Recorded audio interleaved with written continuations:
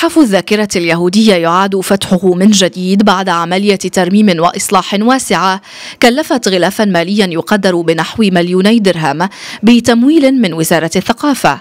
وبعد أن تعرض للإهمال لأكثر من ستين عاما أعيد تأهيل المبنى بشكل يحترم كليا الأشكال الهندسية والمكونات الأساسية للموقع الديني التاريخي الذي يعود بناؤه إلى أواخر القرن التاسع عشر. يعكس افتتاح هذا المشروع أو هذه المعلمة الحضارية من جهة الرعاية التي يوليها أمير المؤمنين صاحب الجلالة الملك محمد السادس لرعاياه من اليهود.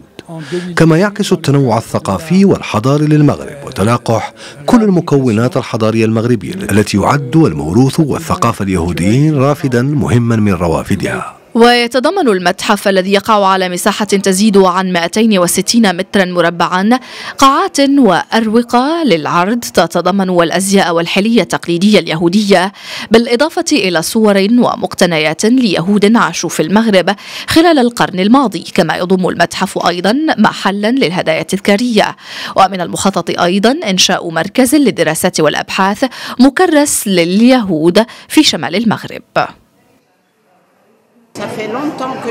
أقوم منذ مدة بحياكة مجموعة من الفساتين أو ما يعرف بالكسوة الكبيرة وأهديتها للمتحف لأنني أعتقد أن سكان طنجة وكل العالم يجب أن يتعرف على هذا الموروث.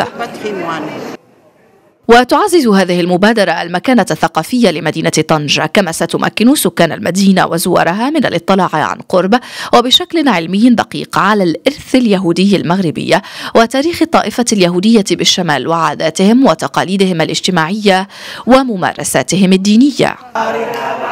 وين حومة وسكنين انتوما وين حومة وسكنين حبيبة على أرلك زينة شينا